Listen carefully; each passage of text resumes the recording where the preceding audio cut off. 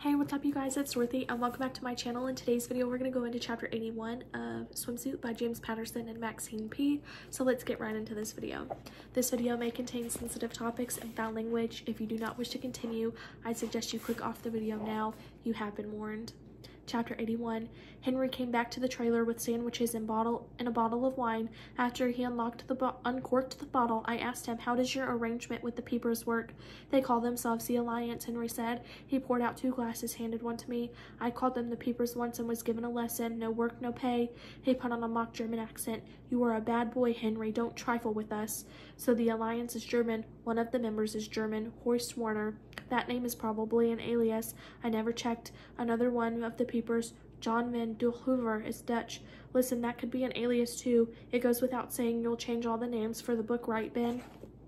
But these people are not so stupid as to leave their own breadcrumbs. Of course, I understand. He nodded, then went on. His agitation was gone, but his voice was harder now. I couldn't find a crack in it. There are several others in the Alliance. I don't know who they are. They live in cyberspace. Well, one I know very well, Gina Perazzi. She recruited me. That sounds interesting. You were recruited? Tell me about Gina. Henry sipped on it at his wine, then began to tell me about meeting a beautiful woman after his four years in the Iraqi prison. I was having lunch in a sidewalk bistro in Paris when I noticed this tall, slender, extraordinary woman at a nearby table. She had very white skin and her sunglasses were pushed up into her thick brown hair. She had high breasts and long legs and three diamond watches on one wrist. She looked rich and refined and impossibly inaccessible, and I wanted her. She put money down for the check and stood up to leave. I wanted to talk to her, and all I could do think to say was, Do you have the time? She gave me a long, slow look from my eyes down to my shoes and back up again. My clothes were cheap. I had been out of prison for only a few weeks. The cuts and bruises had healed, but I still had gaunt. The torture of the things I've seen the after images were still in my eyes, but she recognized something in me. This woman, this angel whose name I did not know yet, said, I have Paris time, New York time, Shanghai time. I also have time for you.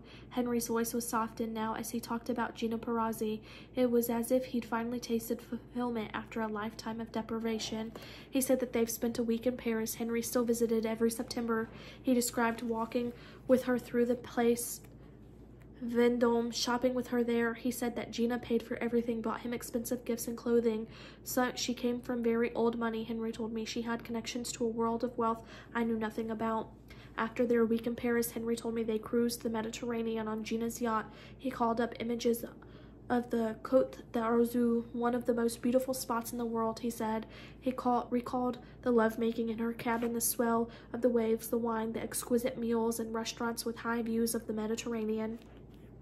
I had 1958 Glengarroch whiskey at $2,600 a bottle, and there and here's a meal I'll never forget: sea urchin ravioli followed by rabbit with fit with fennel, mascarpone, and lemon. Nice fare for a country boy, and exal quail pal. I'm a steak and potatoes man myself. Henry laughed, said, You must just haven't had a real gastronomic tour of the Med. I could teach you. I could take you to a pastry shop in Paris. Ah, chocolate. You would never be the same, Ben.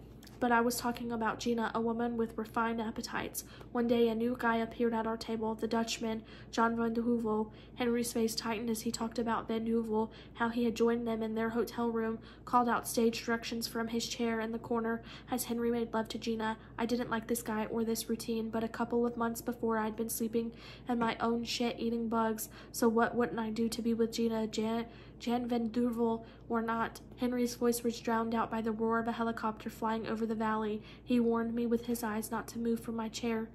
Even after the silence of the desert returned, it was several moments before he continued his story about Gina. That is the end of this chapter. I will see you guys in the next video. Bye.